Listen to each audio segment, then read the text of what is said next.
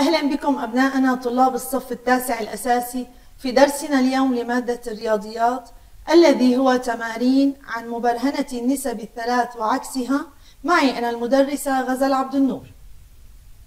إذا سيكون الدرس مبرهنة النسب الثلاث وعكسها. تمارين. سنبدأ مع نص مبرهنة النسب الثلاث. دي ودي فتحة مستقيمان متقاطعان في النقطة A. النقطتان B و M من المستقيم D مختلفتان عن النقطة A.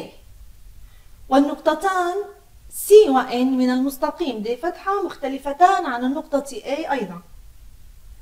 إذا كان المستقيمان BC و MN متوازيين كان طول AM إلى طول AB مساويا طول AN إلى طول AC مساويا طول MN إلى طول BC. الحالات الثلاث لمبرهنة النسب الثلاث. الأشكال الثلاثة الآتية تظهر ثلاث حالات لمبرهنة النسب الثلاث وفي كل منها المستقيمان المتوازيان BC و MN يقطعان المستقيمين D و D فتحة المتقاطعين في النقطة A. إذا لدينا أبنائي المستقيمين D و D فتحة متقاطعين في النقطة A والمستقيمان BC و MN متوازيان ولدينا الأشكال الثلاثة التي تظهر آه، مبرهنة حالات مبرهنة النسب الثلاث الجدول الآتي جدول تناسب يوضح ترتيب الأطوال المتناسبة. لدينا أطوال أضلاع المثلث AMN وأطوال أضلاع المثلث ABC ولدينا توضيح لترتيب الأطوال المتناسبة. عند استعمال المبرهنة نرتب الحروف وفق موضح في الجدول مع مراعاة أن النقاط التي تنتمي إلى مستقيم واحد تقع في عمود واحد. إذا نراعي دوما أن النقاط التي تنتمي إلى مستقيم واحد تقع في عمود واحد. طرح عكس مبرهنة النسب الثلاث. في الأشكال الثلاثة الآتية نقول إن النقاط A و B و M متوضعة على المستقيم D بترتيب مماثل لترتيب توضع النقاط A و C و N على المستقيم D فتحة. إذا إن النقاط A و B و M متوضعة على المستقيم D بترتيب مماثل لترتيب توضع النقاط A و C و N على المستقيم D فتحة. أو نقول إن النقاط A و B و M على المستقيم D منسجمة بالترتيب مع النقاط A و C و N على المستقيم D فتحة. النص D و فتحة مستقيمان متقاطعان في النقطة A. B و M نقطتان من المستقيم D مختلفتان عن النقطة A. وأيضا C و N نقطتان من المستقيم D فتحة مختلفتان عن النقطة A. إذا كان لدينا طول AM إلى طول AB مساويا طول AN إلى طول AC وكان ترتيب النقاط A و B و M على المستقيم D مماثلا لترتيب النقاط A و C و N على المستقيم D فتحة كان المستقيمان BC و MN متوازيين. حالة خاصة القطعة الواصلة بين منتصفي ضلعين في المثلث ABC لدينا M منتصف الضلع AB ولدينا N منتصف الضلع AC إن ترتيب النقاط A و B و M على المستقيم. AB مماثل لترتيب النقاط. A و C و N على المستقيم. AC وأيضا يكون لدينا طول AM إلى طول AB مساويا طول AN إلى طول AC وكل منهما يساوي نصف. فعملا بعكس مبرهنة النسب الثلاث يكون المستقيمان MN و BC متوازيين. وبهذا نجد أبنائي مبرهنة مستقيم المنتصفين وهي القطعة الواصلة بين منتصفي ضلعين في مثلث توازي الضلع الثالثة وتساوي نصف طولها. إذا مبرهنة مستقيم المنتصفين القطعة الواصلة بين منتصفي ضلعين في مثلث توازي الضلع الثالثة وتساوي نصف طولها. اكتساب معارف كيف نستدل على عدم توازي مستقيمين؟ لو كانت النسبتان AM إلى AB و AN إلى AC متساويتين لكان المستقيم MN موازيا للمستقيم BC تمرينات ومسائل. في كل حالة آتية هناك إجابة صحيحة واحدة من بين ثلاث إجابات مقترحة أشر إليها. أبنائي دوما نؤكد على قراءة السؤال أكثر من مرة لتحديد المعطيات وفهم المطلوب. أولا لدينا المستقيمان NS و MT متقاطعان في النقطة A و TS و NM مستقيمان متوازيان. نريد الآن حساب الطول AM ولدينا ثلاث إجابات مقترحة. ستكون الإجابة أبنائي هي الإجابة الثانية. سنرى الحل أبنائي.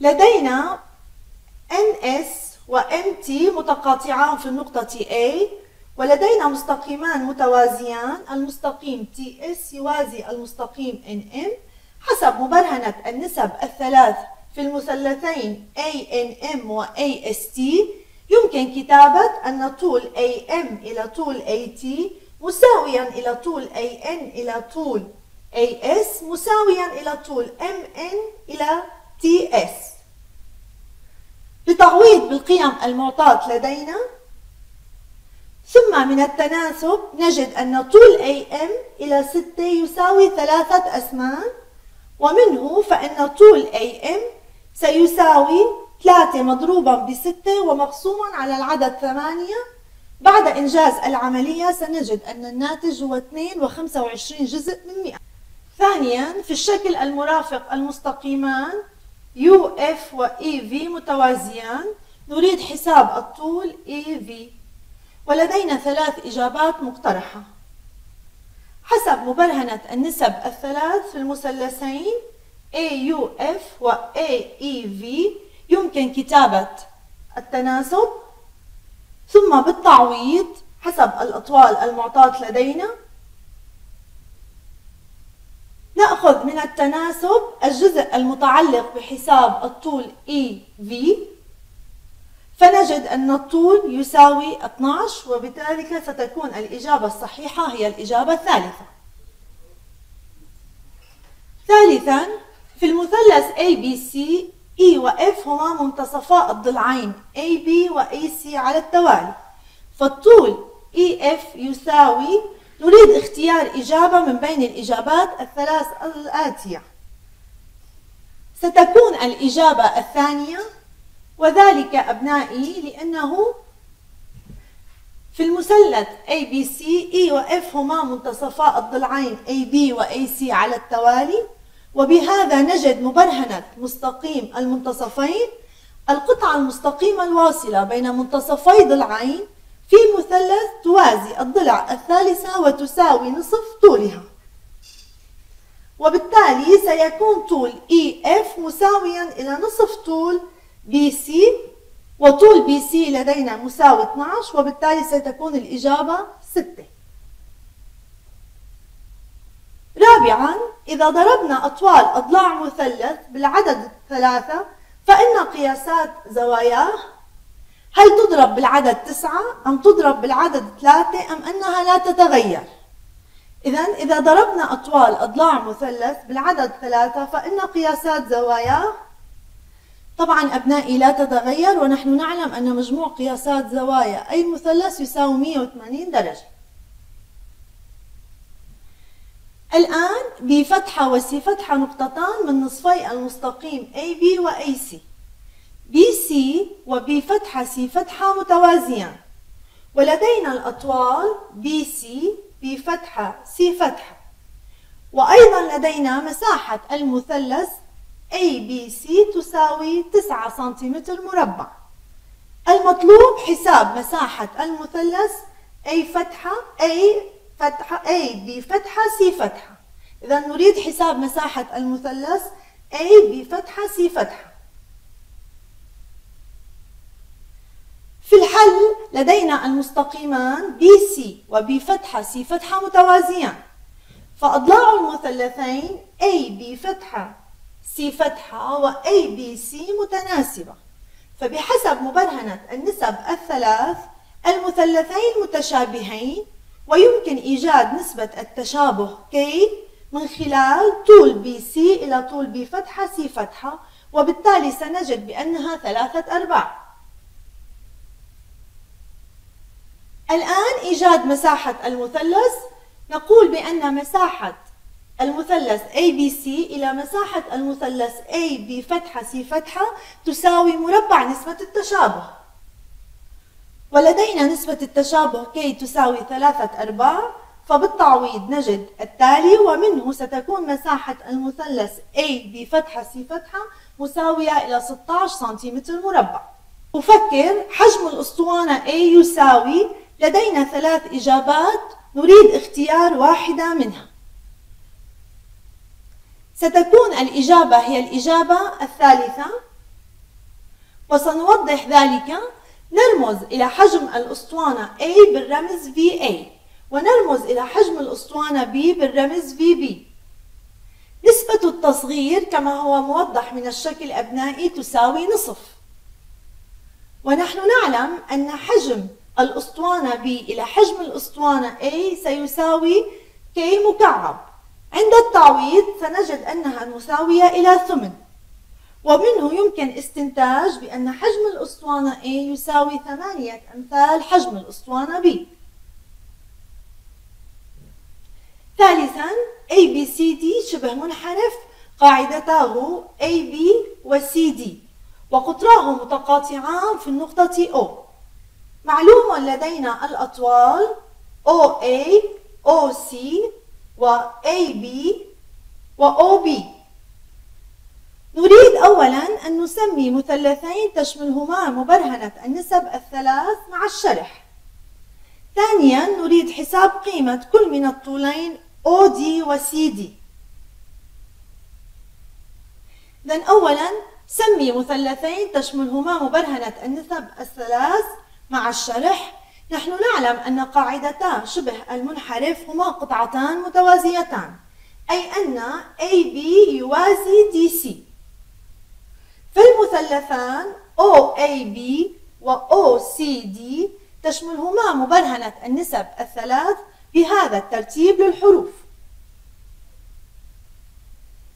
ثانيا احسب قيمة كل من الطولين OD و CD حسب مبرهنة النسب الثلاث في المثلثين OAB و OCD يمكن كتابة أن طول OD إلى طول OB سيساوي طول OC إلى طول OA وسيكون مساويا إلى طول CD إلى طول AB وبالتعويض بالقيم المعطاة نجد أمامنا العلاقة الآتية.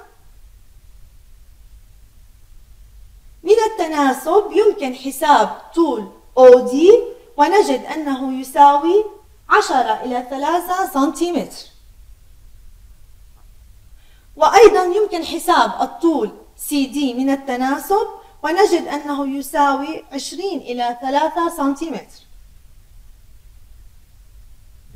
رابعا المستقيمان ED و BC متقاطعان في النقطة O.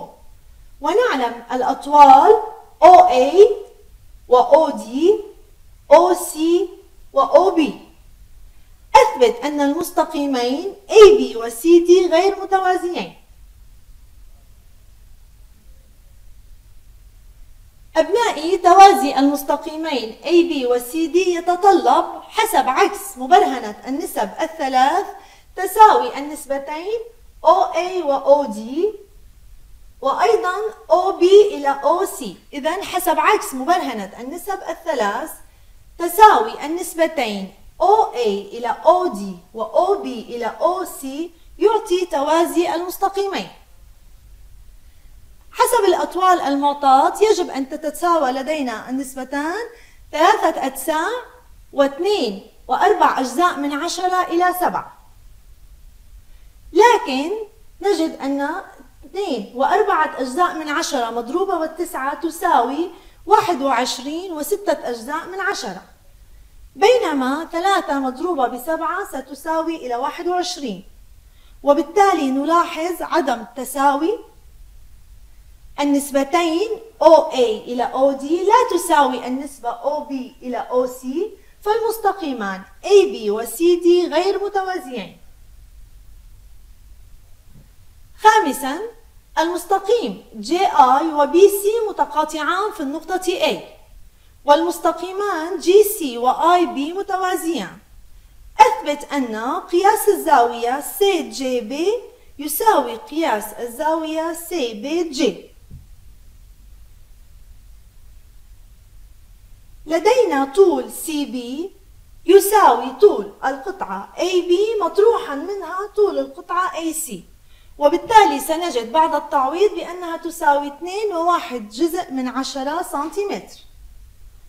وبحسب مبرهنة النسب الثلاث يمكن كتابة أن طول CJ إلى BI تساوي AC إلى طول AB عند التعويض يمكن الحصول على طول CJ ونجد أنه مساوي إلى 2 وواحد جزء من 10 سنتيمتر.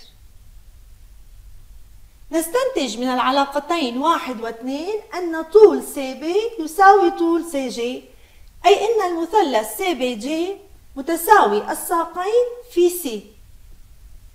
فزاويتا قاعدته متساويتان ومنه فإن قياس الزاوية CJB يساوي قياس الزاوية CBJ نتمنى أن نكون قد قدمنا الأفضل لكم أبنائي وإلى اللقاء في درس جديد.